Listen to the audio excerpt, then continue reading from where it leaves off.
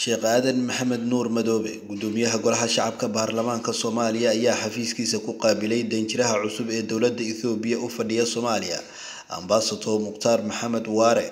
gudoomiye sheekh aadan maxamed nuur madoobe iyo danjiraha. Dowladda ethoobiya u jooga soomaaliya ayaa ka wada hadlay xoojinta xiriirka iskaashiga labada dowladood waa soomaaliya iyo ethoobiya isagoona ka gudoomay dhambaal salaan ah uu kaga siday gudoomiyaha golaha shacabka baarlamaanka dalka ethoobiya waxaana uu sheegay in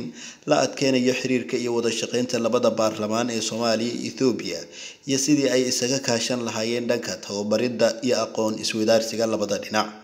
safiirka ayaa gudoomiyaha uga mahadceliyey sida loogu soo dhaweeyey dalka isagoo xusay in labada dal ay ka wada shaqeyn doonaan dhinacyada horumarka gaar ahaan dhinacyada amniga iyo la dagaalanka kooxda ururka al-shabaab. Etoobiya ayaa dhowaan qeyb ka noqon doonta wejiga labaad howlgalka looga soo horjeedo ururka al-shabaab ee ka bilaaban doona sida uu sheegay madaxweynaha soomaaliya xasan sheekh maxamuud. Dhowaan gobollada dalka iyo qeybaha ay kaga harsan yihiin gudaha dalka